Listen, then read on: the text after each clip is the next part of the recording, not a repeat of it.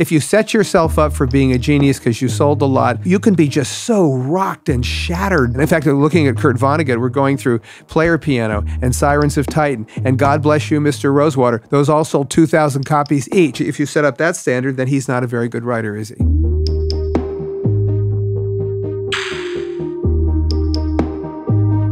The one on the ranch? Land, it's called Landman with Billy Bob Thornton. Yeah. Wow. Very cool. Anyway, so whatever. You like the studio though? You're like one of the. I want Brady. No, I, I more than like it. I want Brady to come to my house and uh, and do a wall. yeah. So where did, did you guys have these books? So a good chunk of them are like books that people sent, you know, Yeah. like galleys and stuff. And then I my publisher sent me a bunch. And then then there's this company called Books by the Foot that like fills out like celebrity uh you know Books by the foot. It's called Books by the Foot, and they do like movie sets, but then like, you know, if you're like a celebrity and you're about to be in Architectural Digest and you want to look like you read a lot of books, this is what you you hire them, and they they'd be like, I want only cloth bound hardcovers, or you want only leather bound books, and so they can do whatever. So these are just filler. So it's like it's kind of a lot of books that were very popular for a moment and then ended up in like re- remaindered. Yeah, yeah. Yes, and, uh, exactly. what I love, I, de- I I detected your hand in this, but maybe I'm wrong. But dead center in the middle of the other wall yeah. is Battle Cry of Freedom. That's probably an I didn't. I accident. thought figured that was you. no, I, some because of, it's some of them were literally chosen. dead center. No, I. So one thing about it is the books get worse as it goes up. Because after you get out of eyesight, then it's like all random cookbooks and stuff. Um, so some of them you'll see are really weird. It's like how to how to lose Yeah, weight it, eating it- only it fruit. almost doesn't matter to me. I mean, there's it all blends well, in at there's some Tom point. Clancy, Garden Yeah. Primer, Stephenie Meyer. I mean, right, Germaine Greer. I mean, there's right, right, right, right. Yeah. Yeah. And every once in a while, there'll be I'll be like, oh, that's a great. Like I, I picked some out, like Evan Thomas's Sea of Thunder. I never read, and I was like, oh, I'm going to take that. I read that. that book was incredible.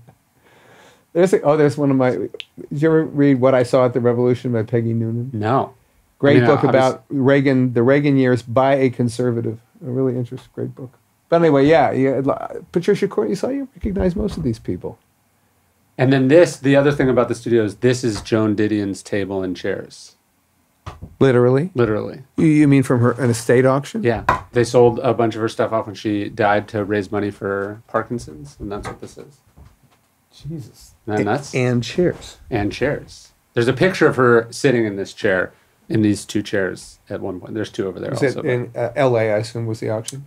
Uh, no, the auction was Or in New New York, York? so I don't New know York. if they shipped all the stuff to LA and then, or from LA. She lived in both, but I guess she died. She lived in New York, so maybe it was in a storage unit or something. But that's it's a cool vibe.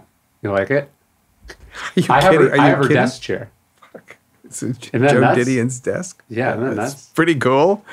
Yeah. Well, she was. Uh, One of the one of the best. she's one of the best. She's, Very few uh, people can do fiction and nonfiction as well as she can. She Right. was like, uh, what is it? Um, ambidextrous. She was, and she. I mean, if you just read the stuff in the White Album, it, it, it I don't feel this that often with nonfiction journalism, but I do with her, which is just that I can't do that. You know, she, she's she's like she's so good, particularly combining the personal with the the other stuff. But I mean, she's just really good. Yeah. go like fuck, I can't I can't do that. Anyway, but I, that very few people inspire that feeling in me, but she does. So Yes, and she's great. The the last two, uh, Blue Nights and A Year of Magical Thinking, you're just like, how does someone take the worst things that it could have possibly happened to a person Yeah. and transform it into something so profoundly good? Ugh, it's insane. So hey, to, uh, speaking of LA, so we're, Yeah. thinking of jo- I, I I associate Joan Didion with LA, but Yes. uh, do you still have your like town in Bishop or where the fuck was Yeah, that? the ghost town. Yes, the ghost town. You still have it? So I'll, sh- I'll I'll show I'll send you a link to the video. But in the other building, so it's, there's two buildings there, right? Mm-hmm. Well, the bookstore and then the other side's the record store. There, um, when we bought it, it came with a Brunswick bar, like you know Brunswick pool tables. Yeah. They they got into the bar business after the pool business, and they made these bars. The last the last year they made them was like 1917. So somewhere between like 1880s, early 1900s, they made a bar, and so the ghost town uh, was doing great. Then during the pandemic, the hotel burned down. I don't know if I told you this story. No, no. So uh, electrical fire, probably rats, Oh, uh, burns down this uh, hotel that had been built. Burned down to the day that it opened. Like I think it opened in 1872. I can't do the math, but it was Burned like to the ground. to the ground, nothing there. So the the process of the last couple of years has been rebuilding it. Yeah. And so Brent was just here. Brent's the one that was there, and he took the bar from the building, drove it all the way, and then it's they're building the hotel around the bar because the bar dates to when the original hotel would be there.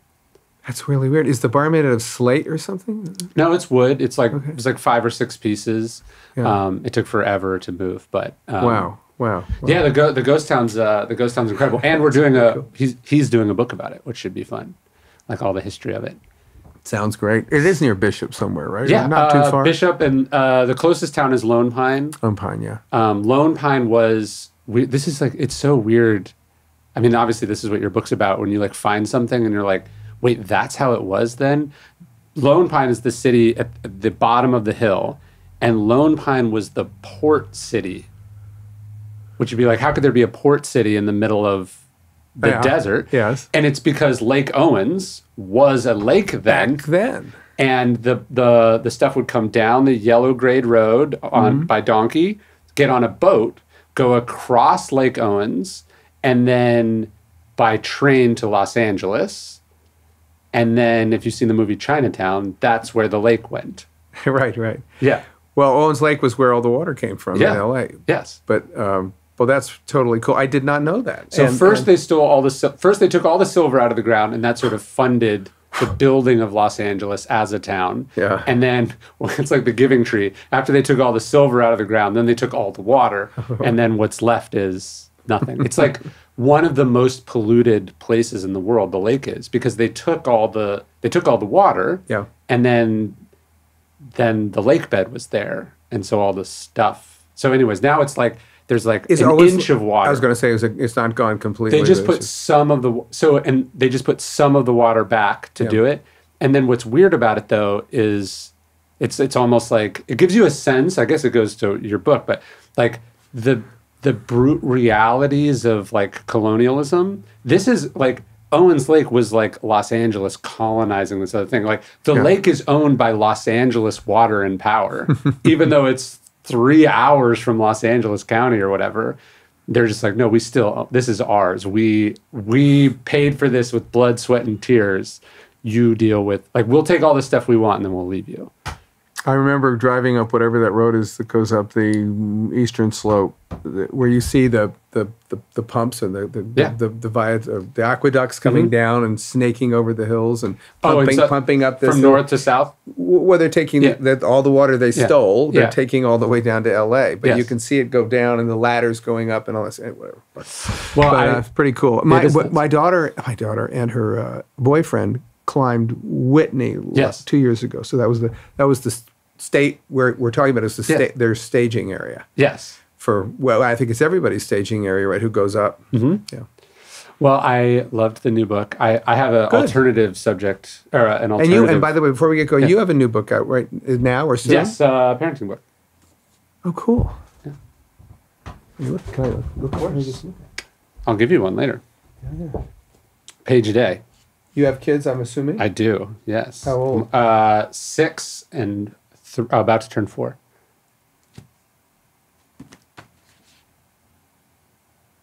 cool. Yeah.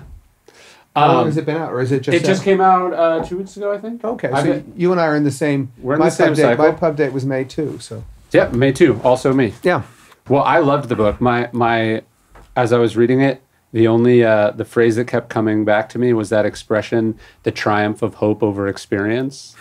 That's what it seems like, because the whole idea is insane. Like, Completely insane. yeah, every every part of the Zeppelin slash what were the airships is what Yes. they're, they're called. Well, rigid airships. I rigid mean, air just every part of it is delusional and insane and contrary to any basic safety precaution like just that a human being would get in one of these things is deranged It is. Isn't that Yeah. amazing? So I mean, at some point, you, I realize that I'm, I mean, I'm nominally writing a book about, or you know, Lord Thomson, R101, and the Imperial Airship Scheme and everything. But what I'm really writing a book about is human folly on Yes. an absolutely enormous scale. And that's Yes. and at some point in the middle, I that wasn't what I thought going in, but somewhere in the middle, I go, oh, okay, think that's the- what I'm doing. The encapsulation of the folly to me is in a single sentence in the book when you talk about the asbestos lined smoking lounge inside R101.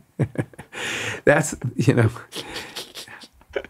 that what they were going to do is they were going to put all this stuff up in there you know and they and this is the first airship where they all put it inside they were going to put it all inside and the in the, in the glamorous dining room and cocktail lounges and promenades Yeah. with the selling windows and the smoking lounge which ironically one of the survivors there's only six survived because he was smoke he was in there having a butt and having a drink in the smoking lounge the asbestos actually protected him from The Death. explosion. Well, that's just so for people who haven't read the book yet. We're talking about like a 700 foot hydrogen filled balloon in which the hydrogen is actually in stitched together cow intestines. Yes. So it's not any stronger than like a sausage you would get from Smitty's or something.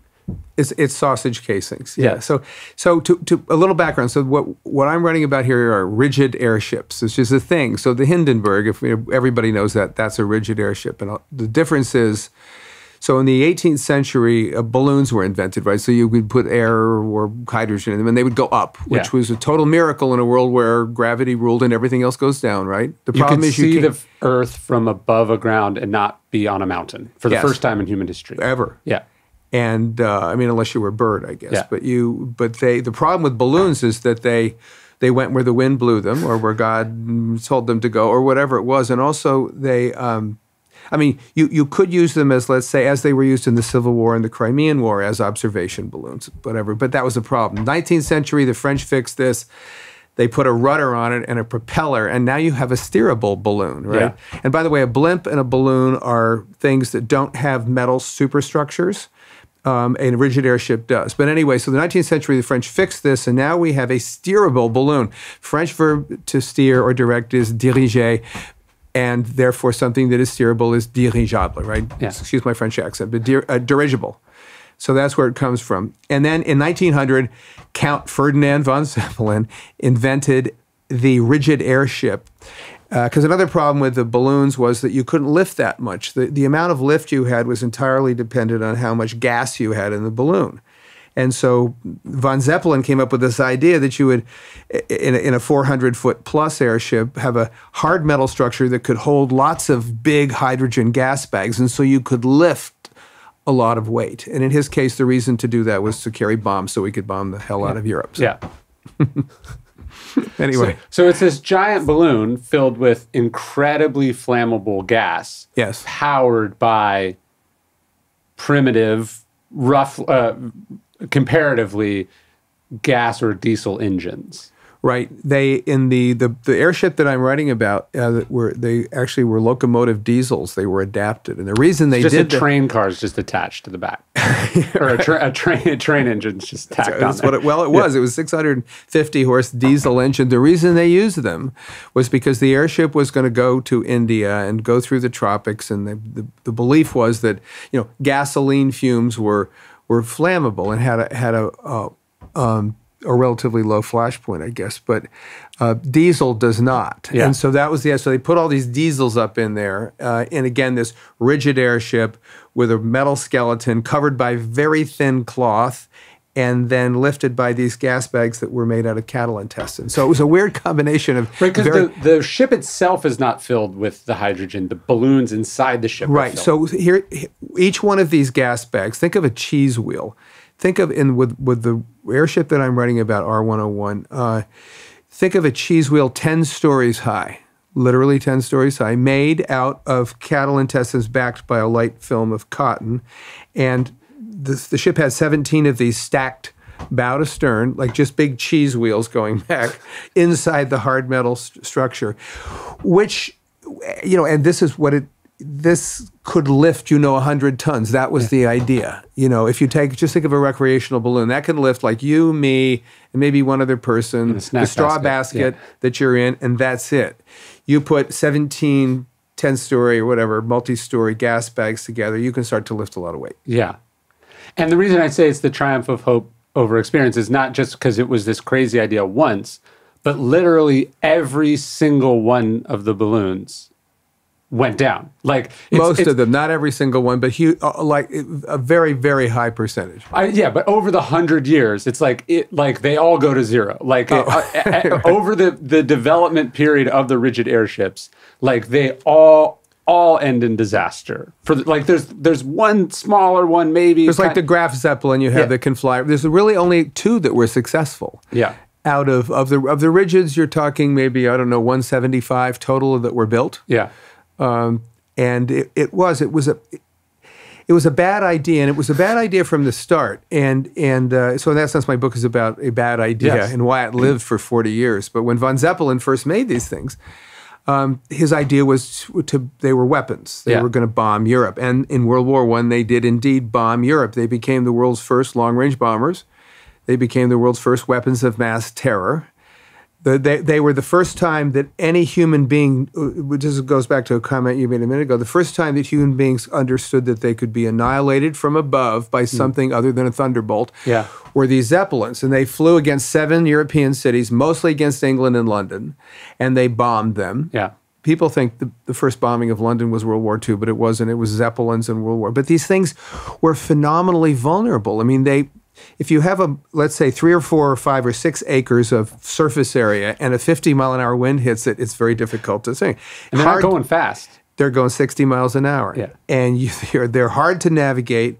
They get blown all over the place. They blow up very easily. And one of the things that happened in World War One was that the British figured out what would happen if a fighter plane shot a an incendiary bullet Yes. into the hydrogen, which is a very satisfying experience from the pilot's point of view, because you have something.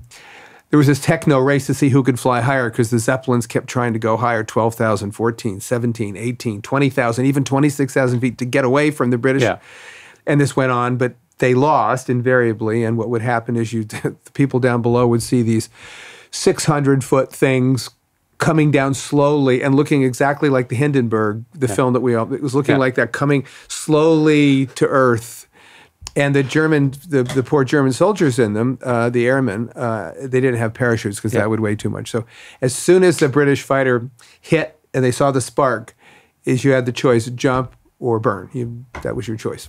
Yeah, we were just at the actually yesterday. We were at the um, the Pacific Museum in Fredericksburg, the World War II uh, museum, and they had this game where you could do uh, you could practice being an anti-aircraft gun against you know um, ships. And so my six-year-old was playing it, and he was like not great at it because he's six. But I was just thinking like he could probably hit a 500 foot balloon in the Yeah. sky. Like you just think it's not just like. Uh, kind of a big target. It's like the biggest target you could imagine. target. Imagine if you could sink the Titanic with one bullet from very far away, and it's just and it can't turn around. I mean, it's, It was like, an, it was absurd. an amazing moment in warfare, and it, it demonstrated how but what a bad idea Zeppelins were. But in the in the techno race to see who could fly higher, and the, the Germans were just slightly ahead, and then the British, of course, the British planes would have to circle to get up to 10,000 first, and then 14, and then 18,000 feet. But when you got up there, these are unprotected human beings Yeah, at 18,000 feet in wintertime. yeah, So we're at 30 below zero, 40 below zero. People are freezing. They're, there's uh, they're they're they're dying for lack of oxygen. They've got terrible frostbite. Their gauges are all freezing up. Their compasses are frozen. Their oil lines are frozen. Everything, and they're up there. Uh, and British pilots also, Yeah. because the British pilots are equally unprotected in these little, bi- you know, biplanes going up to try to pursue this as you say, these 650, 700 foot long zeppelins up there. And, uh, and it was this amazing piece of warfare. Um, and it went on during, uh, it went on for the most of uh, World War One. And, um, and almost. I mean, the Zeppelins, seventy percent of them were lost in combat to into fire, and I mean, it just was it was gruesome. Yeah, I mean, you're saying it was it was such an obviously bad idea, but it was like the world was over and over again going, "This is not a good idea," and then people were like, "But what if?" Yeah. You know, just like over and over and over again, not getting the message, which I just found endlessly fascinating. It's pretty amazing because you come out of the war, World War One, where the German Zeppelins have failed miserably. Yeah, And you'd think, well, okay, that's the end of those things. Okay, but no, actually, the, there's a lot of nationalism and national pride swept up into these Yeah. things. They're kind of equal parts engineering and ideology. And so after the war, you think, well, okay, they're gone. And, and after the war, the Germans were shut down. They were not allowed to fly them anymore. Yeah. But the British say, aha, we can do this better. We can do this better than those guys. We're going to bring British technology to bear. And so in 1921, you have this uh, you know, this attempt to fly the biggest and best in the world, the R-38, which goes down in flames. However, there there were a few. It, it wasn't uniformly awful. I mean, there were a few examples, and that everybody could point to and say, "Look, see, it, they work." I'll give you a good one. 1919. The only way the British could get really build uh, an airship, a rigid airship, was to copy down Zeppelin. So when a Zeppelin went down, the engineers would crawl all over the thing, and they'd come on sort of reverse engineer it or figure out how they did it.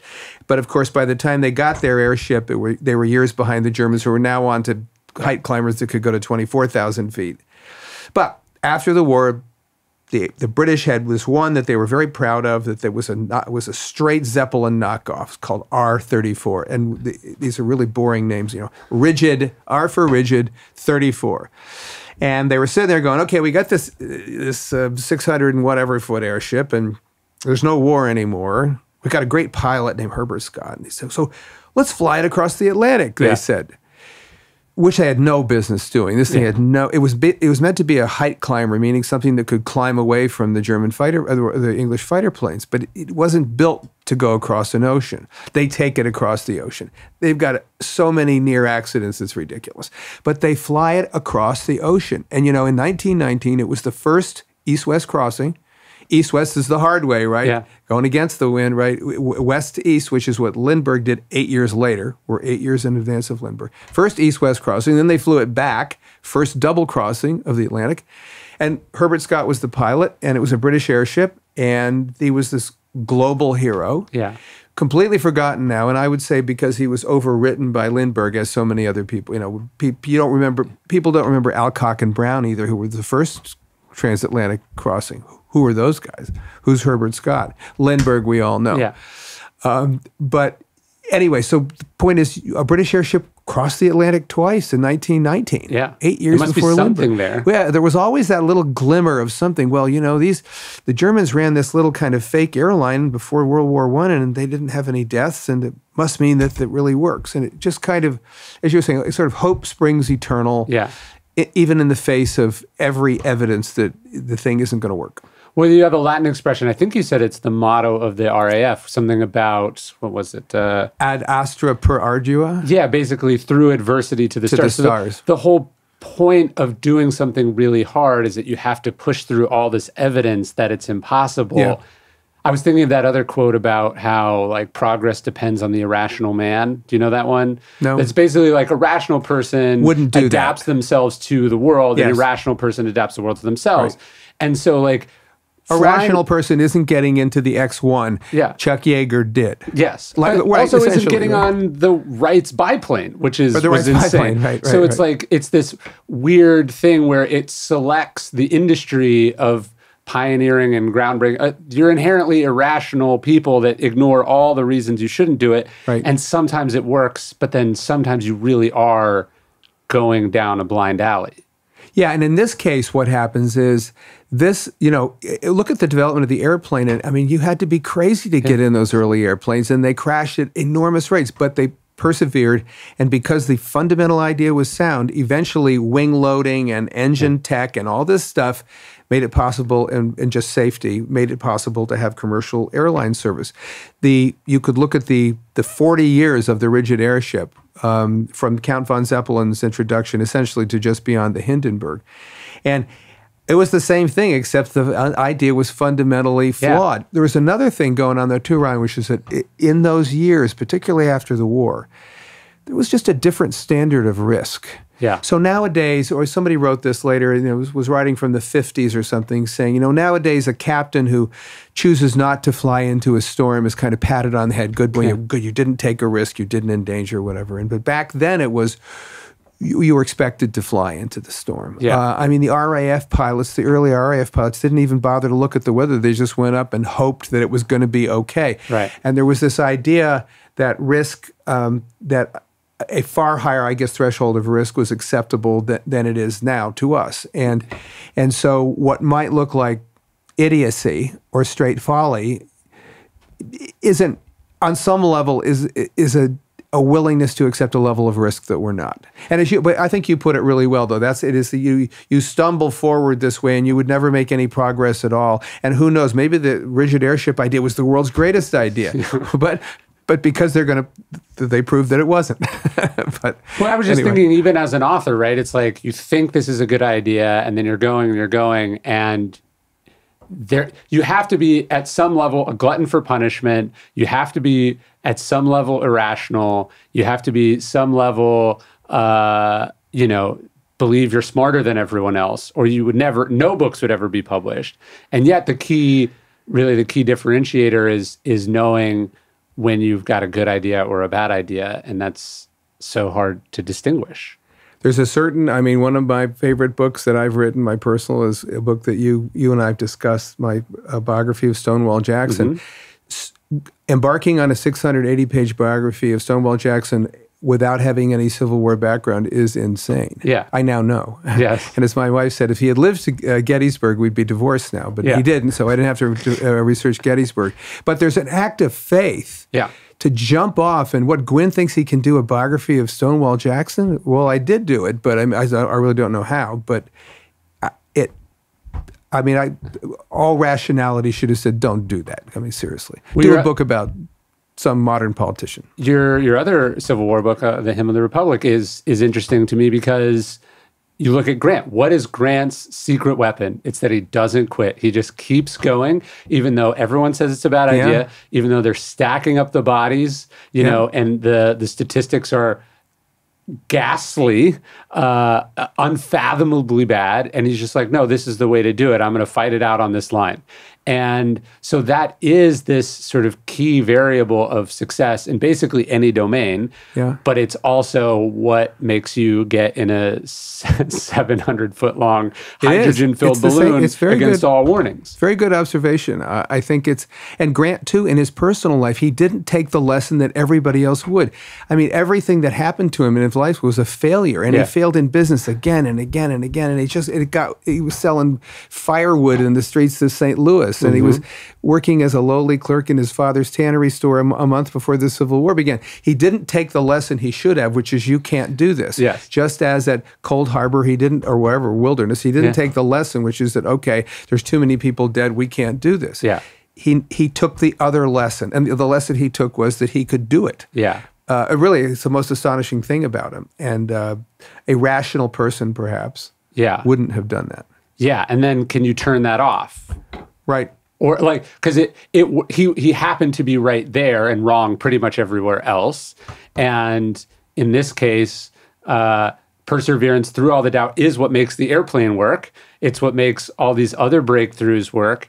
Uh it's just not with the rigid airships. But what's also interesting about it is like simultaneously there are all these other break like this is happening not that far from say the invention of atomic weapons or Yeah. all, you know what like this wasn't happening in the 1800s and they had some Right. like totally primitive sense or No. whatever this was simultaneous with a lot of other much more rational uh, reasonable iterative breakthroughs and there was evidence along the way that those things were working whereas here it was the preponderance of evidence Right. every single day that they were just disregarding over and over and over again.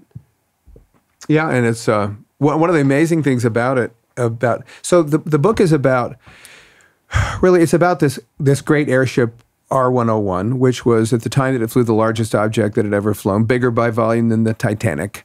Um, it was. Uh, it was part of what was known as the Imperial Airship Scheme, which was the British attempt to populate the skies of empire. They had this, they came out of World War One with this giant empire. I mean, 25% of the world's landmass, 420 million people.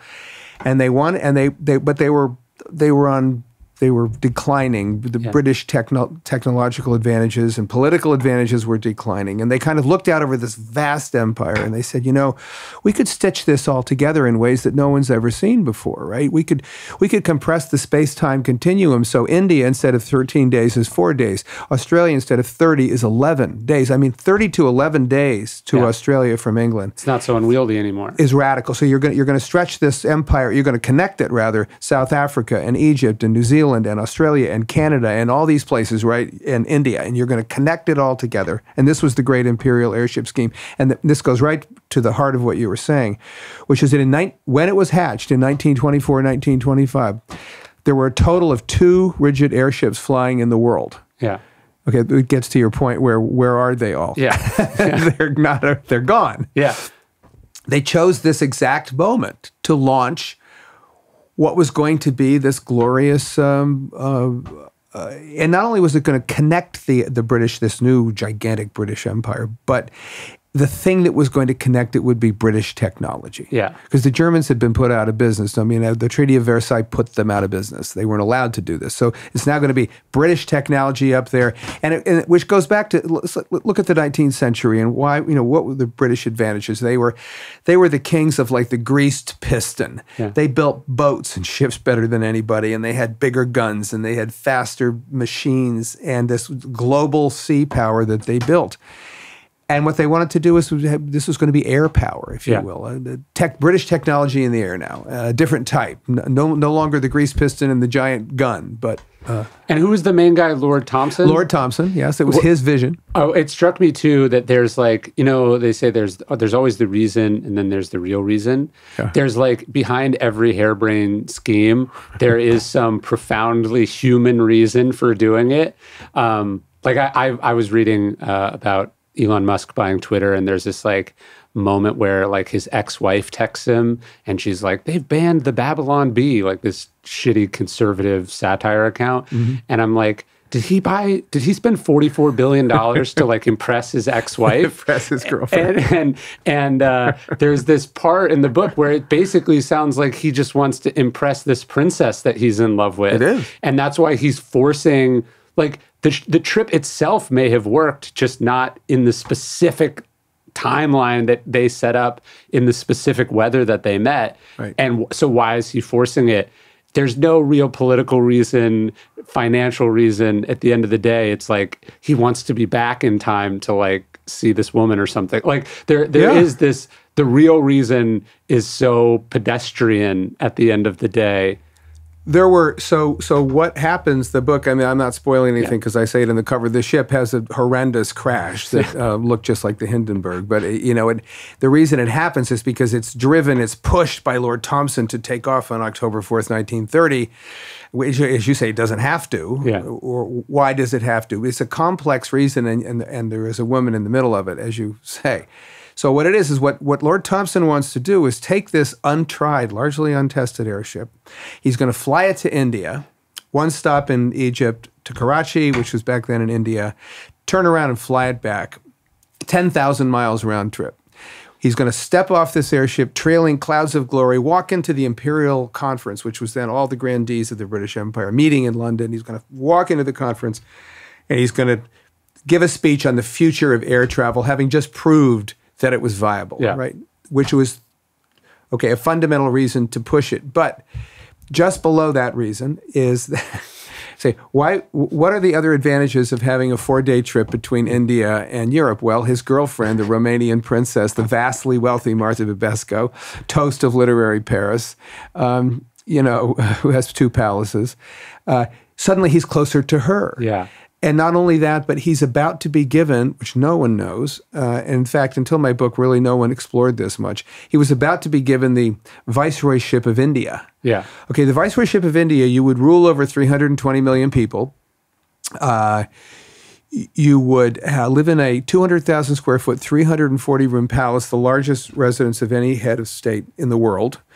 And you would be the head of India, which is, of course, the key part of the British Empire because it's seething with revolution and discontent. And There's and this he- guy Gandhi who's causing problems for you. Gandhi, the Indian National Congress, all in the ascendant. And we don't know, in 17 years, India is going to be gone from Yeah. the British Empire. But so all these reasons, um, he.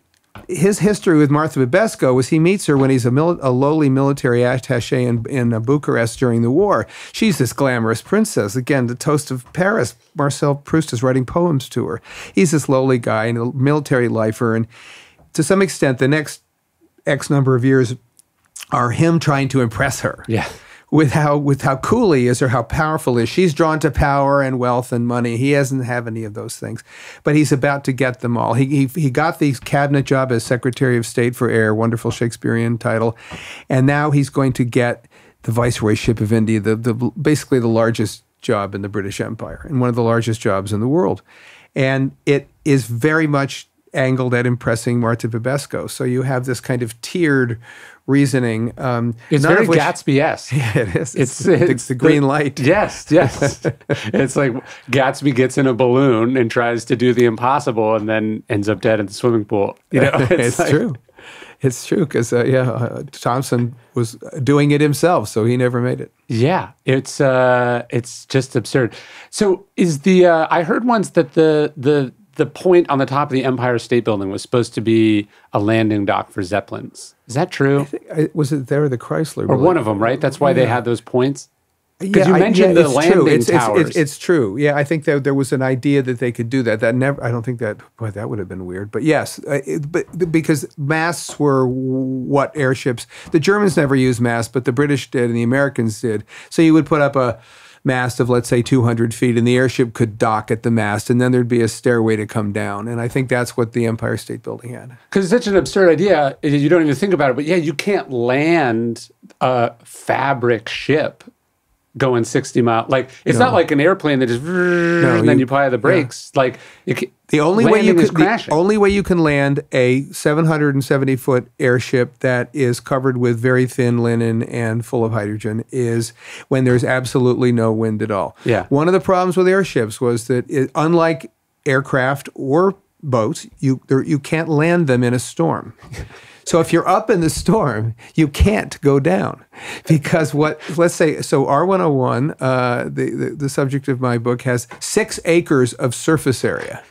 Okay, now let's take a 50 mile an hour wind. Now, if you've ever sailed a sunfish, at least, uh, or a very small sailboat, you see what a, a puff of wind does to a small sail. Yeah. Okay, now think six acres, 50 miles an hour wind. What happens to them when you take them down with wind is the wind just beats them to pieces across the landscape, and then a spark hits it, and then they blow up. yeah. Static electricity. It doesn't have to be shot by a bullet, just static Oh no! uh, electricity. yeah. If, if you're if you're being sort of smashed around the landscape and smashed into your hangar and into the mast and all that stuff, so these guys couldn't go down. And uh, I mean, theoretically, anyway, a boat can go into a safe harbor, and theoretically, anyway, a, a plane can go down and land.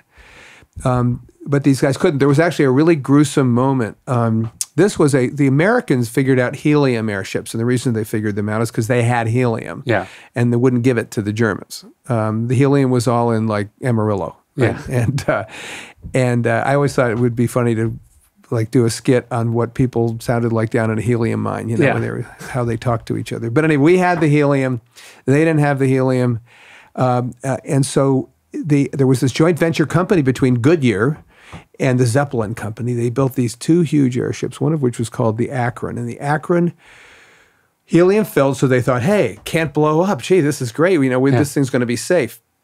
But it has the it has the problem that, that all airships have many uh, shared problems that are independent of hydrogen. But one of them is this problem of landing in a storm. Yeah. So the things in off New Jersey, and it's these terrible thunderstorms that come. And thunderstorms are the worst of all because you have up and down drafts. So these things go shooting up five thousand feet, then doing a nose stand at six thousand feet, then a tail stand at. None of this sounds real. No, Like- so they're bat. They're off. They're off the shore of the off New Jersey coast, and they're being chased by thunderstorms. And they go west to try to get away, then east then south. And for four hours they flee because they can't go down. Eventually, they get caught in a downdraft that just jams them into the 38 degree water in, in the North Atlantic and and that's it. 73 of 76 people die. But yeah, it was yet another, you know, vulnerable to wind, vulnerable to hydrogen, vulnerable to all these things, but can't land in a storm is a big one. But one one more thought on uh, the triumph of hope over experience, which struck me probably as the most absurd thing in all of it. And I don't think this is spoilers, but some of the people who died in R101 had been in the other terrible crashes, Yes. which proved definitively that this was a totally unworkable Uh-huh. idea. And the thing they got in was no better or different. It was no changes very have been made. similar. Both giant hydrogen filled airships. Yeah. so Uh, we don't so- learn. So we never learn. but I think the point you bring up is, is really good, and I you know I, I it, it is it is it is the process of technology and the process of invention. Yeah. uh, is basically. Um, I mean, I think of it sometimes as forgetfulness because if you really, if anybody, for example, who went up in a commercial airliner in 1929 or 1930, you're taking your life in your hands. So Yeah. and somehow you have to forget about the Yeah. fact that 52 of them went down the year before Yeah. and think, oh no, this is going to be great. Right. I mean, it's really important. It's an important way that humans evolve, and, and particularly technology. So, But I mean, one of them is not made of bed sheets. that's true. You know what I mean? Like, I, the, And the- cattle intestines. The, the the features of the other things are also designed to reassure, right? It's like I get it. You're on the Titanic, and then you go in another boat. Yeah. It's different than you know. Ugh. The uh, the other thing that struck me about the book was speaking of you know the Empire State Building having the landing dock or whatever. There's something similar to like the Great Influenza or, or, or some events in history where it's like it's so insane, it's so tragic, it was so widespread, and then it just disappears totally from history because it's so embarrassing and inexplicable, maybe that we just don't, or tragic that we just don't want to talk about it, and it's better that we just excise this from history. Like, I guess going into your book, I was like, the Hindenburg crash, that was obviously the only one of them and the only time That's all happened. anybody knows. Yeah. it, it has been. It's been overwritten, expunged, whatever the word is. Is the? I mean, who's ever heard of the R one hundred one or R thirty four, the one that crossed the? There's hundreds of them. Like, that's Who-. Whoever knew that? You know, the dozens and dozens of, of, of giant zeppelins went down in, in Hindenburg like fireballs during World War One. Yeah. N- nobody knows these things, and it, it's it's interesting that um, that it can sort of all be overwritten in that way. The Hindenburg you bring up, which is interesting because that is everyone's marker. Yeah. Because everyone knows what that is. Yeah. And it's interesting. The reason they know is because there was when it happened at Lakehurst, New Jersey, in 1937, seven years after R1 R101 went down. When it happened, at that time, there was a guy with a, a film company called Pathé who was shooting silent film, and that's the thing that the world saw. Yeah. That 30 seconds, and the most incredible. It was the most incredible thing anyone had ever seen. It, it played in movie theaters all over the world silently because there was no sound with it at all. Yeah. Meanwhile, there's a guy from the AP over like somewhere else who's going, "Oh, the humanity! Oh no, it's going!" Oh, like that guy, right? Yeah. So, so uh, sometime in the 1960s, I think it was in the 60s, some enterprising British producer married the sound with the with the. So now you've got the full thing going up in flames, and the guy saying, "Oh, the humanity." Those weren't. Yeah. th- those didn't occur in the same spot at the same time, but it's such a big kind of deal. And the, one of the interesting things about it is it, it it was the only time anybody ever really saw this happen. Yeah. So R101 goes up like this. You know, as I say, dozens, I don't know, more than 70 in World War One go up this way. A whole bunch before World War One go up this way. Uh, the American ships, uh, the, the uh, I'm sorry, the, uh, the, the first, well, R-38, the first American ship, and then the Roma, the Italian ship that the Americans all go up these giant hydrogen. It's like nothing but giant hydrogen fireballs, but nobody saw them. Yeah. Uh, and so you have this weird kind of it's this era that lasts about 40 years 1900 to just before world war ii and it disappears because these things didn't work now you'll, you'll see uh, the goodyear blimp or the fuji blimp or something They're, they are blimps though they're balloons Yeah. you pump them up full of gas and they, they may have a rigid keel on the bottom but they don't they're not that big they're a couple hundred feet long and they don't actually the new the new generation of them the airlanders they're going to take people to the north pole for $500000 which I don't think I'm getting on that plane. Yeah, yeah. Anyway, allegedly now You, they- learn, these, you learn some lessons. these things can take off with Bernoulli's principle, and they can, and they have surface area which isn't as vulnerable to wind. But yeah, if you got an extra five hundred thousand, go to go to Uh, after reading your book, I'm not going anywhere near a blimp of any kind. yeah, it's just, it, the whole the whole thing is just so fascinating and so uniquely human that this is just like what we what we do. This is this is this is history just in a particularly absurd way. Yeah, it's uh it's just a history of a bad idea basically, but but it you never would have known at the moment that the British launched their imperial airship scheme it, all systems go everything was forgotten. And and also and also part of the technological advance is that this time we're going to get it right. You know, Yeah. we're going to make this thing bloody invulnerable.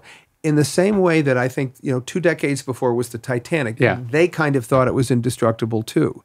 And the and the R101 people, the more they did, the more they put their diesels up and the more they put their smoking lounges in or whatever they did and all the things that they tried to do. They made it four times stronger than it needed to be in its superstructure. They just became convinced that it was I mean, otherwise they never would have done it. They were convinced that this baby, as Lord Thomson, who was the driving guy behind this, he said, it's as safe as a house, but for the millionth chance. I mean, what? And then he said, and then Your he house said, is filled with hydrogen and you smoke a lot. yeah. and then he had another said he said he said it was an all-weather aircraft. I go, wait, the all-weather? opposite of that. So, like a typhoon or uh, a tornado? Uh, I mean, you know, a seventy-mile-an-hour wind. Uh, it- these things they they came to believe, and I don't know.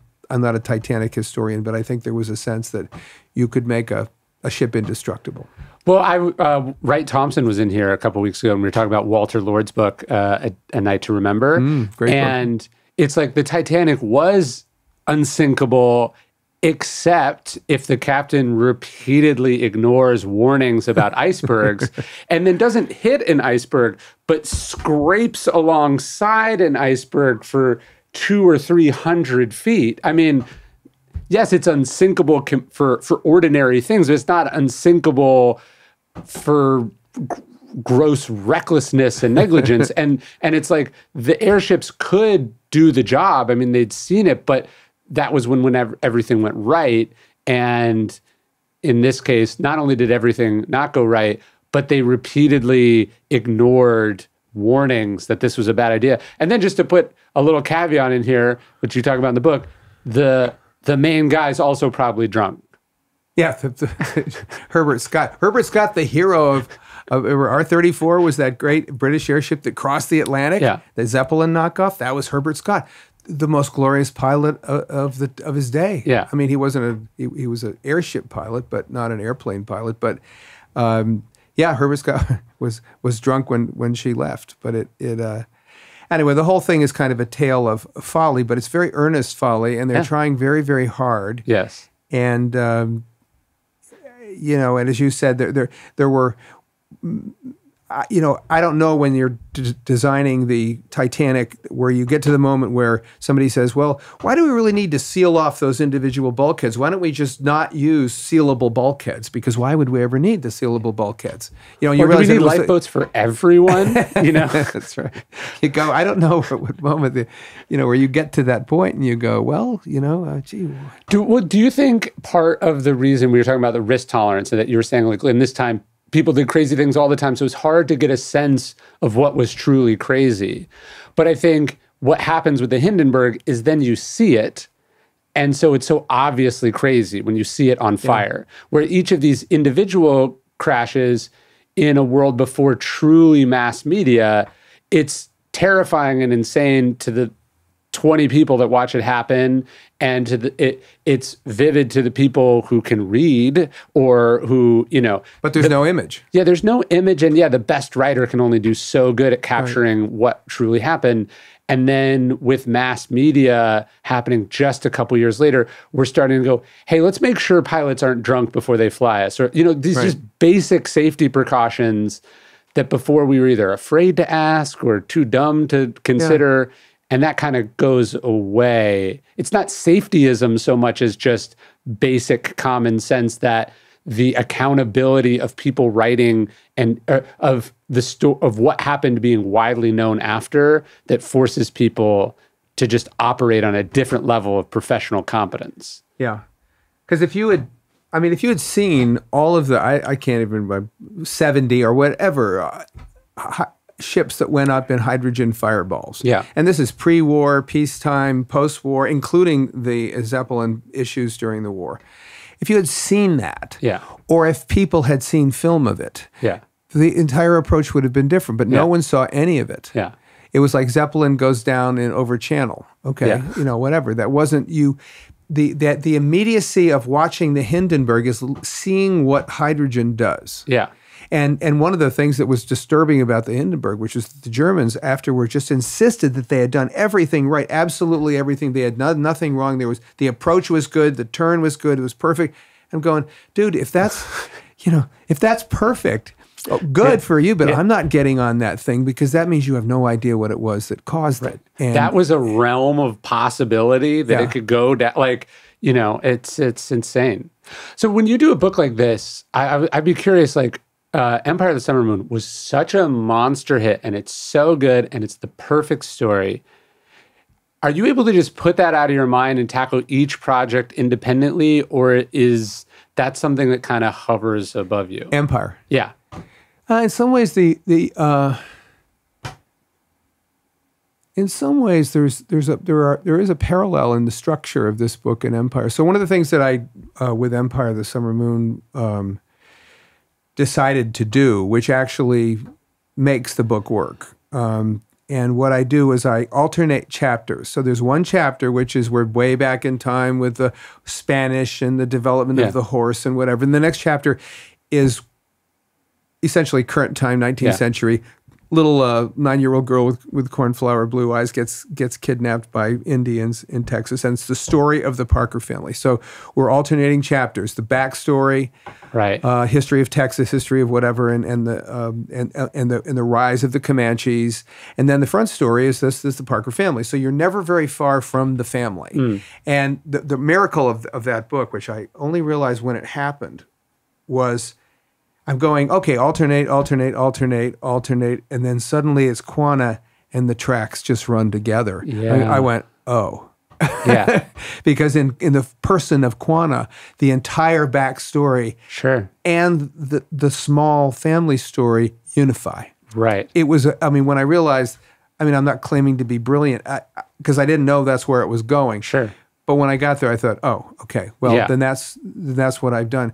So in this book, um, the, the ch- the the challenge was okay, you've got a crash on the night of October fifth, nineteen thirty, of an airship, um, and so and that's about a seven hour flight before that happens. And so, how am I going to do this? Am I going to am I going to start with kind of a scene setter just before the you know the thing takes off or something, or maybe it's in the air, and then kind of go all the way back and just tell that kind of backstory from start to finish, right? Um, from the earliest Zeppelins to the crash. And I thought that was making the reader wait too long to come back Sure. to the material. And so what I did was, again, alternating chapters. And we're we're on the airship, which the reader knows he's on the Lusitania. We're on the Lusitania, Yeah. and we and and a chapter about that, and then a chapter about the Zeppelins, and the chapter about the development of the British airship system in World War One and all that thing. So we're alternating. So again, here we're never very far from that present moment, which in this case is we're up in the airship that's doomed, and we know it's going to go down, and we just don't know when or how. And so, in that sense, I guess the, that that structure is somewhat parallel. I just mean like when you have a big hit, and I've had it a couple times, you have a big hit, it can fuck with your expectations for what all your subsequent work. Oh, you mean in terms of commercial sales? yeah, or just reception or Oh, like it totally messes with that. Yeah, yeah. How do you think about that? But where you can't, you so I have some friends who, um, you know, they're they're they're obsessed. They're, they're obsessed with their own numbers. And Yeah. nowadays, of course, we can all go find our numbers, and they check it Amazon. twice a day. Yeah. And I don't do that because I don't think that. So if you have a book like um, Empire of the Summer Moon, which has sold a lot of copies, um, you can start thinking, well, I'm a genius. This is the baseline. And then if, you, if you're going to set that up as that standard, because Gwynne is a genius because he sold two and a half million copies, well, okay, then if, if Perfect Pass doesn't sell that well, then Gwynne is an, is an idiot and has written a bad book. sure. Well, Perfect Pass is my favorite book. Yeah. but if I if I were to, because it's my most original book, but you, you know what I mean. You can't Yeah. if you set yourself up for being a genius because you sold a lot of you know whatever your first book on stoicism was. Uh, you're you're setting yourself up for a fall, and you cannot believe that because there's it's it's you know the more and the more I read about, I just read a biography of Kurt Vonnegut, and, Yeah. but it- it's you, you can be just so rocked and shattered by Sure. all of that if you if you let that happen and and it, it it's it's it's inevitable that you're going to try to think that way i guess i mean you're going to that you're going to try to associate your own glory and you know wonderfulness with straight sales or something and that and that and you, you look back in history about how how many incredibly great books didn't sell very well. Um, and in fact, looking at Kurt Vonnegut, we're going through Player Piano and Sirens of Titan and God Bless You, Mr. Rosewater. Those all sold 2,000 copies each. Okay, Yeah. so if, if we're gonna, if we're going to say, well, Kurt Vonnegut, if you, if you set up that standard, then he's not a very good writer, is he? Yeah. You know, but I mean, you know, No, I my the book I am most proud of that I think is my best book is the worst selling of all my books. It like but I try to think back, okay, the first time I was setting out to write, if you told me that book would sell that any of my books would sell as many copies as my worst selling book sold, I'd be like, done. I'll take that trade in two seconds. So Exactly. the the base it's very hard to keep a reasonable, humble baseline or a self a self sufficient baseline that is not determined Right. by what other people are doing, what you have done in the past, whatever projection somebody gave you, uh, and to just go, it is what it is, and I'm proud of it because I feel like I did a good job. that's all you can do, I think. I mean, you can, uh, I mean, I do look at, I mean, look at some numbers like print runs, you know, Yeah. I the print run here I was happy with. I mean, but you know, you want to know that your publisher somehow thinks it's going to sell, but it's, uh, you know, it's, it's, uh, yeah, it's, it's, it's a strange game and it's not one that, that, um, as a life, as a career long journalist, I mean, most of my life was as a journalist. Yeah. You're not really playing that game as a journalist 'cause- pre page views. Right. So, Yeah. well, now, Yeah. now it is. I guess that's true. I didn't. I didn't grow up in that world though. So I'm working Yeah. for Time Magazine, and I write a story, and by Monday uh, night, it's at the bottom of somebody's birdcage, and we move on. Yeah, yeah, And and sure. maybe it was the greatest thing in the world, and maybe it wasn't. And you know, I'll get calls from friends saying, "Oh, that was a great story." Okay, that's it, and you move on. Yeah. Books are a whole different world. But you're right. Yes. that nowadays, those poor journalists have to.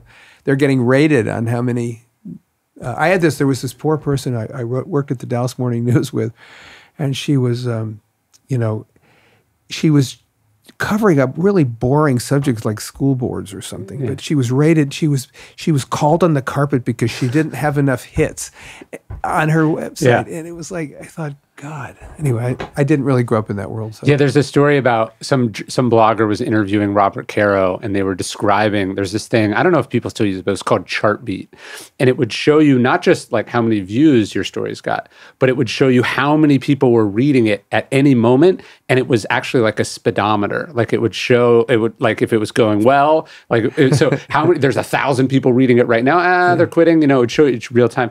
And Robert Caro's just like aghast. He's like, how could you? How could any? This is a guy who spends you know a decade of his life writing about the most boring topic you could imagine. You know, the park supervisor of New York City, and it works ultimately. But over a like the there is but it's also kind of fundamentally irrational, right? Like what that is relying on is your gut. Like I know what's good. Forget what the market says. I got alarm. There, there's also something fundamentally irrational about being self-sufficient in that way and not listening to the evidence or the fact that no one's particularly interested. You, you know, there would never be groundbreaking work if people only looked at what the evidence told them was good. Yeah, it, it's it's very hard, and there's. Uh, I'll give you I'll give you an example. I often give this example of, of of getting the you know of, and and I think a lot of writers and maybe you too. I don't know have have experienced this. is this is part of what I do, and um, uh, so. Uh, my the, uh, this is year, years ago. I have a biography of Stonewall Jackson uh, Yeah. called Rebel Yell, which is which has followed a which is also a bestseller up the New York Times for nine or nine or ten weeks bestseller. So I've, I've got two bestsellers in a row. The other one was a big Texas book too. So I'm in San Antonio with Rebel Yell. Mm-hmm. And so I'm not a, I'm not a nothing. I mean, Yeah. at this point, I was a nothing in Texas before Empire, but I, I sold a bunch in te- and it's about Texas, so Texans like it.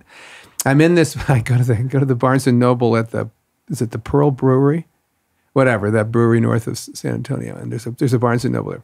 So I walk in, and I think there's I thought there was going to be a book talk of some Yeah. kind, but there's you know you realize very quickly there's no chairs set Yeah. up for a book talk, but there is a like a a, a desk in the corner that has a sign that says author, literally says author. And there's a little stack of my books on one side of it. So they said, well, okay. There's this like 28 year old uh, uh, store manager who goes, he goes, well, okay, great. Yeah. So look, we got a desk for you there. And uh, yeah, wait, wait, here's a pen. You want a pen? You need a pen. Okay, get it. So you just go sit at the desk. Yeah. And no one, I, I, I sat there. Yeah. And I sat there and I sat there and a lot of time went by. Yeah. No one came. Finally, finally, a, um, a, a, a lady comes over and she says, uh, and she starts talking to me. She goes, "Well, I love your book." And I go, "Well, thank you." You know, because it really actually Yeah. important to me at this point that someone liked the book. She goes, "Thank you." We talk for a while, talking. And at some point, she says, "I just have to ask you: Have you written any books other than Abraham Lincoln Vampire Hunter?" Which, as it turns out, was sitting just behind me in a little Right, stack. So right. she had seen the stack and thought, "Oh, here's the guy who wrote Abraham Lincoln Vampire Hunter." And I said, "Well, you know." Vampires aren't haven't really been a big focus of my historical work so far, but um, okay, so that is and that is only two years removed from me in the green room, sitting in the green room with, um, with Karl Rove at the, the whatever that big church, the Methodist church is just a, off the in the middle of Austin, right near the Capitol. This Yeah. giant, it's got uh, 900 capacity in the sanctuary and 200 if you add the gallery in this thing. And Karl has drawn, you know, six or 700 people. I'm going, wow, that's incredible. And I go back into the green room. I come out because I'm following him speaking. It's full. Yeah. It's, and I did say hello, Cleveland, too, but uh, it's full. And there, there's people out in front. Okay, so which Sam Gwynne Yeah. You know, know what I, I still I've never had any any moment like that in my life where this book was just an exploding bestseller and I hit it just exactly at the right moment and I came out on stage and went, "You have got to be kidding me!" Yeah. Okay, which Sam Gwynne is the real one? Is it the one who is sitting in the little corner and no one knows who he is, the pathetic little sad author guy, or the glorious Hello Cleveland guy? Yeah. Uh, and I did say it with a British accent too. I I did an event like that at Barnes and Noble in Hawaii, and uh, it was the same thing. They you know they made How all did these you get promises. like a book tour to Hawaii? It was like I was supposed to go to Hawaii, and so they were like, "Well, do you want to do this event while you're there?" And could Yeah. like a tax write off or something. I was like, "Sure." And so you know, I just expect them to take care of it, and they take care of it. And I get there, and there's not even like a poster, and the manager doesn't.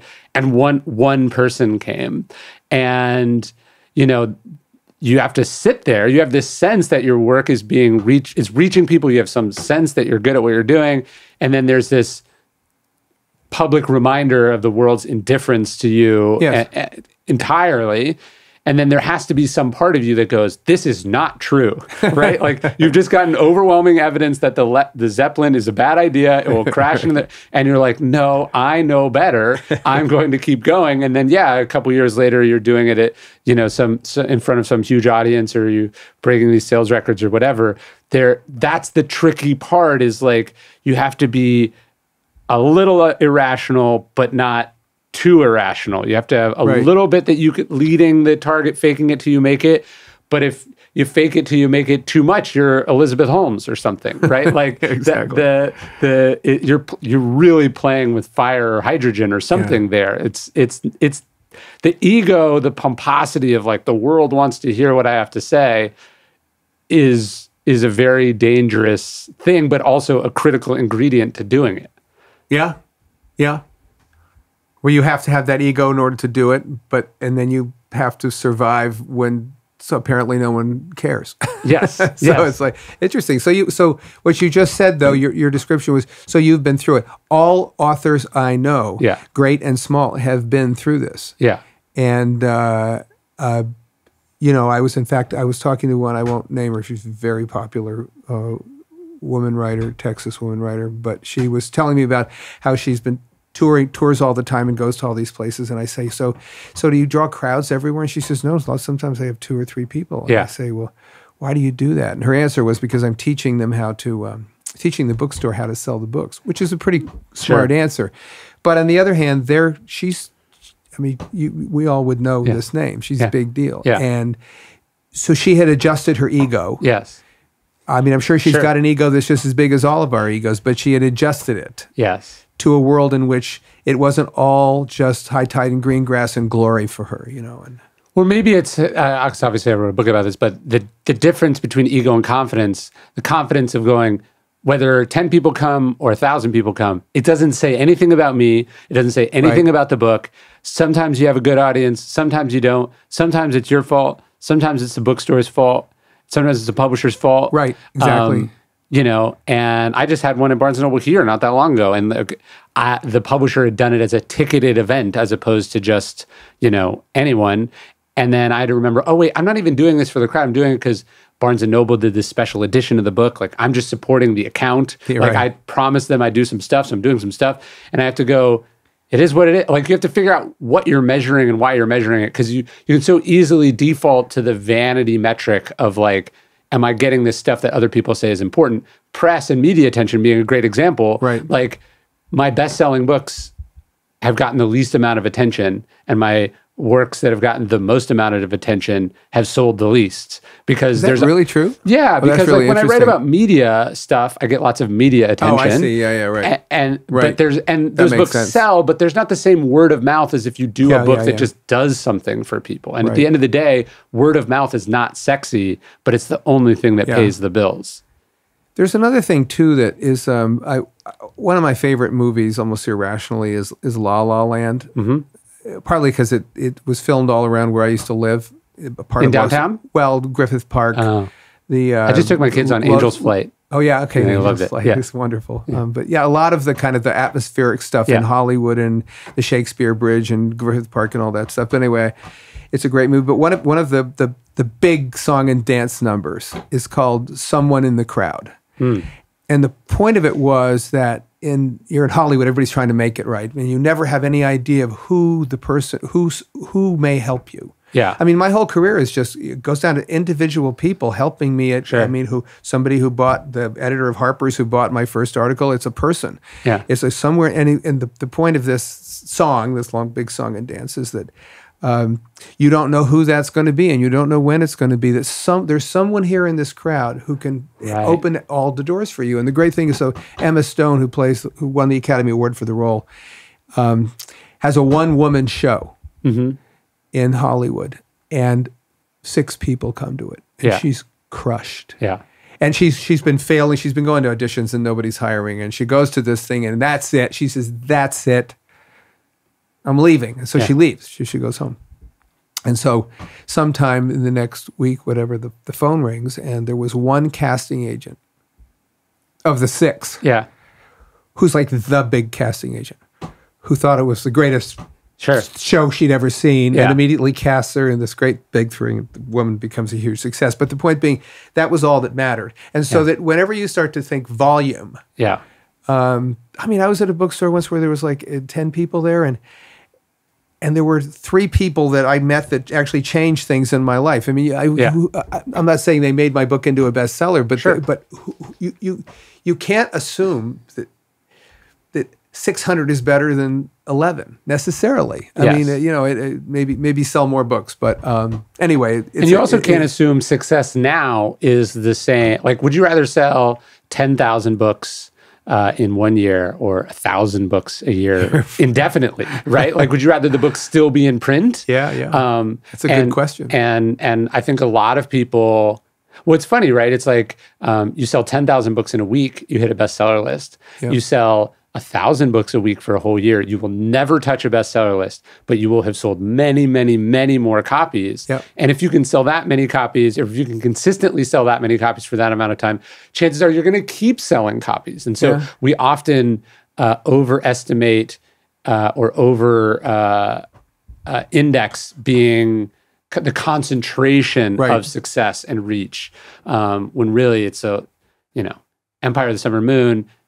That it continues. That you want to get over the hump and become perennial and classic. You want to be on the nonfiction classics section or whatever, or the dads and grads section. You want to be Right. in that conversation, not the everyone's talking about this book right now. Sometimes the the one that everyone's talking about, they're still talking about, but often the reason they're talking about it is because it's very much of the moment, It's and that moment's ephemeral, going yeah. to fade. Yeah, very much so. Yeah, it's. uh Speaking of uh great books, I was um I just read uh Fehrenbach's um Comanches. Oh, you did? I, I read the whole thing because I read Ah. Empire of the Summer Moon and I read Lone Star and I and I, I like his Korean War book too, which is also incredible. Fehrenbach. Yes. Um, Good but I- Texas writer, San Antonio writer. but that's another like the the not pomposity, but the confidence to make the sweeping statements that he makes about generations of people or civilizations. That is the double edged sword of doing any sort of creative work or any kind of work where it's like it probably is so easy to get your head stuck up your own ass. Yeah, well, Fehrenbach was, uh, yeah, I mean, he was, Did you So- meet him? no, I never did. And I came close at one point. In fact, he, was, he and I were supposed to be on a podium together somewhere, I think, and he died, or he got, or he got very sick Yeah. and then he died. He, he was older. Um, but uh, yeah, he was, uh, so from my point of view, he was the, I think that book was this 1974 book or something. Yeah. So, I mean, I, I looked at that when I was doing my book. I thought, well, okay, that's, it's so much time has passed here. I, Yeah. I can legitimately undertake the same, the same topic as T.R. Fehrenbach. But uh, yeah, he's, uh, he's, there aren't very many of him. Yeah. If, if you look at h- historians, you know, the kind of the Dobie, I don't know, I mean, the, whoever those, bet, whatever, Webb, Dobie, you know, Fehrenbach, there aren't that many of them around the mid-century. Yeah, the hard the hard part for me in Comanches was the the Lone Star book is so good. His reconstruction is so bad, you know, so preposterously of its time, lost cause. It Yes. makes it hard for me to read the subsequent stuff and not go like, how do I separate Yeah, yeah. this from that? Yeah, no, it's true. um, but but the ability to s- reduce sweeping periods of human history and sum them up in a in a sentence or two is is both a superpower and uh, probably also playing with fire. Who Fehrenbach? Just I mean for any, like to be, I mean, he's good at that. be- He's yeah, good at that, and he also there's whole pages in here when I should run him down, and Yeah. I don't. I, I he's one of the reasons I wrote my book. But there were pages where I go, okay, this isn't right. That's what I mean. But there's Yes. but he has the ability to look at the big picture that is Yes. very rare. You Yes. know, and and there's some stuff that's just flat brilliant. You go, God, you know, n- nobody wrote that. Nobody looked at Yes. it that way. So, um, but yeah, interesting historian. Well, and and yeah, the there is, I think, probably a tendency in historians to get very bogged down in facts. Just like, let me give you this, this after this after this, and he he understands narrative and human nature and the sort of the the theatrics of it in a way. Like, how do you make a a seven hundred page book about Texas interesting? You you it can't be. Here's a bunch of facts about Texas. Right, You have to understand the essence of what's happening at a sort of like a Thucydidean level, which he is so so good at. I read just a lot of stuff, particularly that I have to do for research. That's just all forest, all trees and no forest, you know. And mm-hmm. you never, and you just never get the step back. Yes. It's just this obsessive, you know. And then this happened, and then that happened, and then they went here, and then this and this battle was won. And then you just go. The Civil War, a lot, a lot of Civil War books are like that, and you just go. I mean, there's never okay. Step back now and tell me what that meant. Yes. What did you know? Second Manassas or Second Bull Run mean? Yeah. As opposed to just well, then he went here, and then so and so, and then the Ninth of Georgia attacked, and then I mean, it's just on and on forever. Yeah. It's just a form of insanity Yeah. in a way. It's just this undifferentiated nothingness that's coming by you. I mean, really, it's a form of of, of craziness. Um, and I see a lot of it. Well, your, your Civil War book is so good for the same reason that Bruce Catton is so good, and uh, this Hallowed Ground is so good, where where someone is able to to actually get to what happened and why and what it means and what it says about people That's what's that's what one of those books does. And you compare that. You, what's interesting about the Civil War is you, you have a like so rarely do you get a bunch of people writing about the same finite amount of stuff, right? And so with the Civil War, you actually do have like you can you can you have a control group of like you have all the people that did it badly and then here's someone doing it well. And when you when you see it done what you're like, yeah, this is just operating at another level. That's why Catton was the breakthrough. Yeah. I mean, in, in the two books, I would say Stillness at Appomattox and This Hallowed Ground. Yeah. Those two books, uh, Stillness won the Pulitzer in 1954. I mean, it was, he was the first one to really do that well. Douglas Southall Freeman was good and all, but he, he, he was, books were dense and they Yeah. were heavy and they were a bit academic. But yeah, Catton just gave gives you the, the, the meaning of, he's good on detail too, but he's going to step back and you're going to, see what the Army of the Potomac really looked like, or whatever it was. I mean, he's just he's just brilliant, and uh, He's the he's got to be the greatest to ever do it, right? and he's the reason. Yeah, and he I think is if if if whenever you hear someone, you always hear someone say that, oh, I love the Civil War. Someone, my dad loves the Civil Wars.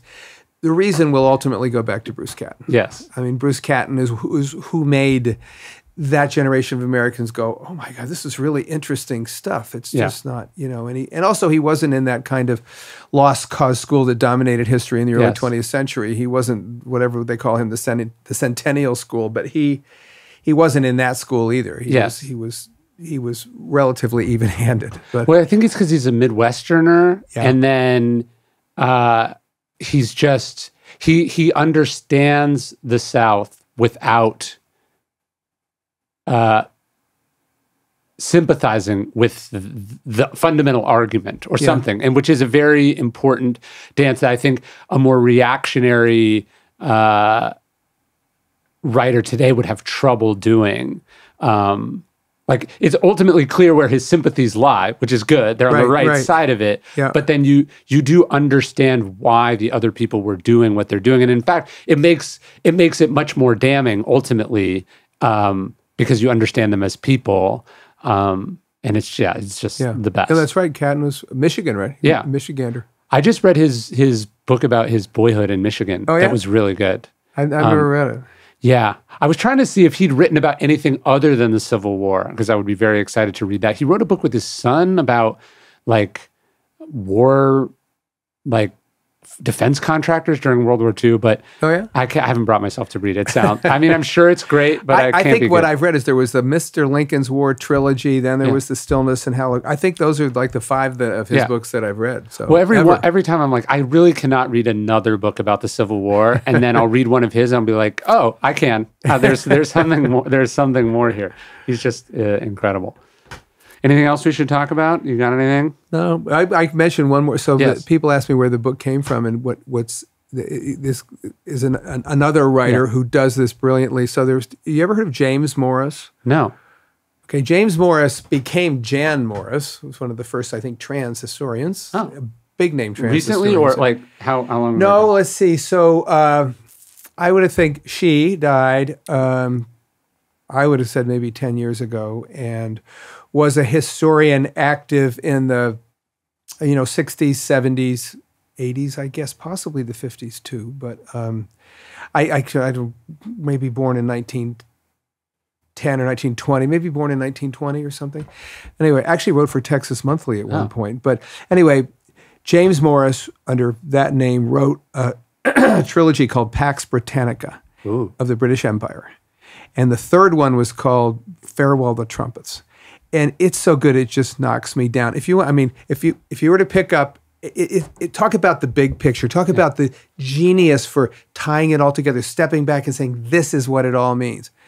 And so somewhere in the middle of there, there was a three-page run on R101. Wow. And it, and it, what he did was he he tied this whole thing to kind of the decline of the British Empire, about how they were trying to save themselves, and that this crash was emblematic of the end of. The, I mean, it just it was brilliant, and I, I read it, and I said, you know, I, I do what you know all you know trained historians do. I, I googled it and Amazoned it right away, you know, to see like how many books had Yeah. come out Yeah, sure. about R101 because Morris was writing 40 years ago or something. And uh, really almost nothing. I mean, something in '82, but it was not written by a. You know, it was a lot of research, but not really really written by a professional writer. And and uh, uh, anyway, so that wh- where I end up, I'm, I'm the only guy with this idea, that's for sure. And the only reason I think is because no one else reads uh, James think- Jan Morris. Well, I'm definitely going to read Oh, that. try just just pick up a little bit, or or anybody listening to this, pick up a, just a little bit of Farewell the Trumpets. It's the third one. Should I read the whole three? Well, I would say Okay, read the whole okay. thing. It's it's it's brilliant writing. Yeah. I mean, there aren't that many historians that kind of knock me down. Catton is Yeah. one. Morris is another. Um, anyway, go on. But Sorry. that's your superpower, right? Because Empire of the Summer Moon is basically the Quanah Parker story from Comanches. right. Um, the uh, 1865 book, uh, uh, Hymn of the Republic, is basically a similar arc as one of the Bruce Right. Catton books. And then you've It's you're exactly the arc of Stillness at Appomattox. yes, I, I Except that, forgot. he, Yeah. that he sticks with Army of the Potomac, and I go, And then in this case, you you read these this three pages and you go, that should be a whole book. You're Yeah. you're you're like your your writing is like you know when you're like on a map uh, on your phone and you go, or is it? Yeah, you're zooming. You're zooming in. Zooming, That's yeah. a, and you're like that's a whole book right there. And I, I'm going to put a bunch of color on that. You know what's another incredible book I just read? Have you read Ann Wroe's book on Pontius Pilate? no. Another thing where you're like, she just goes. Is there enough research to justify a well, book? she starts the book and she's like, there's basically like one tablet, there's the Bible, uh, which is she's not treating as a historical source necessarily. And then there's like an aqueduct and like a couple letters. There's like Tacitus mentions it and there's like Yeah. a couple things, but she draws in every play and she's she's talking about not just what Pontius Pilate was, but what everyone thought he Oh, was and the how cultural history the, of the but it's so it's it, it was one of those books where I could read like three pages and I'm like I'm gonna take a break now. That's so there's so much in these three pages. I have to like come back to it. even with incredible. the f- scarcity of research uh, In- of primary insane. stuff on it. Well, Have the- you read Cleopatra's Daughter? uh no. Some new some book that come out, and it was the same thing. There, Yeah. there's there's there's about that much about. Right. Uh, some of the reviews have said that well, this is really stretching it as far as you can possibly stretch it. I mean, were you just loaded up with backstory and backstory. Well, just backstory. she like okay. Obviously, I write about the Stoics, so Seneca. I'm thinking about all the time. It never occurred to me that so Seneca writes his letter. Seneca's letters to Lucilius, right? Lucilius, his friend, has the same job as Pontius Pilate, just in a different province, Oh. right? Seneca's brother Gallio also judges a case like Pontius Pilate, not of Jesus, on St. Paul, and it's like. Oh yeah, so there we don't know what's there are actually parallels happening that you can here, look at. but yes, Yeah. we we can know so much uh-huh. about and you're just when you just read someone that just they're like this is my story and i'm going to zoom in i'm going to give mm-hmm, you all mm-hmm. of it and you're like how did you manage to get 300 pages out of you know Yeah. 3 days and that that there's a there's a genius to that that's like you just wow is the title Pontius Pilate? i think so or it might just be called pontius but uh, and I'm- she's the she writes the obituaries for the economist that's her, jo- her day job yeah what a great job. yeah Uh, cool. That's great. awesome. Well, this was incredible. Thanks thank again. you, Ryan. Of course.